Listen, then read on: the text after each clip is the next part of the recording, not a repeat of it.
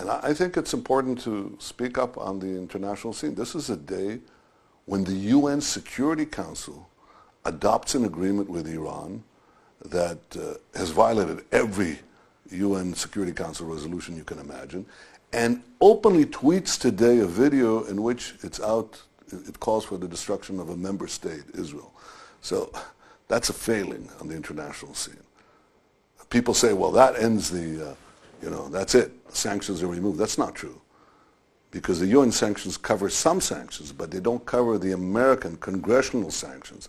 And remember that the United States economy is 50 times the size of the Iranian economy. So companies and countries will have to consider whether they want to go with Iran with the 2% or go with the United States with uh, the, the, the 98% that remains.